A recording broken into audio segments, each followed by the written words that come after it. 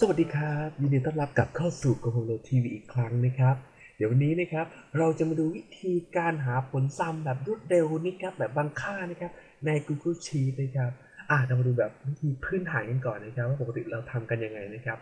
โดยปกตินะฮะใน Google Sheet เวลาเราจะหาผลซ้ำนะครับนี่ผมมีตัวอย่างมานะครับ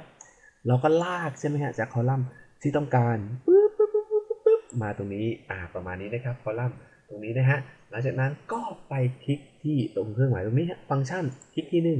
แล้วก็คลิกซ้ำปึ้ง เห็นไหมครับ เขาจะมีค่าแสดงมาให้ ถ้าเรา enter ปุ๊บ ผลลัพธ์จะมาทันทีเลย แต่สังเกตนิดนึงครับ Google Sheet จะมีเพิ่มให้ครับ จะมีสีฟ้าๆเห็นไหมครับ16316 นี่คือค่าซัมที่เขาพรีวิวให้เราดูก่อนครับว่าทั้งหมดรวมแล้วเนี่ย มันได้ประมาณเท่าไหร่นะ เพราะฉะนั้นเนี่ยเวลาเรา enter ปุ๊บตึ้ง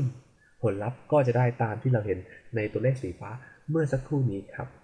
อ่าแต่บางทีครับบางทีเราไม่ได้อยากต้องการจะดูผลลัพธ์ทั้งหมดครับเราอยากต้องการดูแค่ 2 คอลัมน์เนี่ยครับ2กับ3หรือ 6 7 8เนี่ยครับ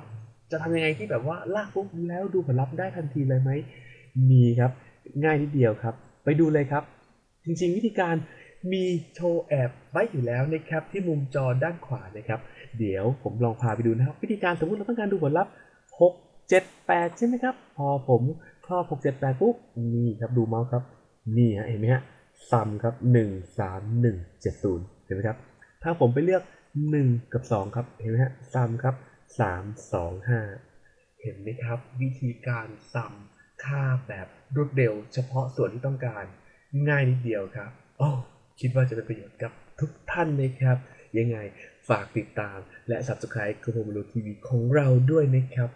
แล้วพบกันใหม่ในครั้งหน้าครับ สวัสดีครับ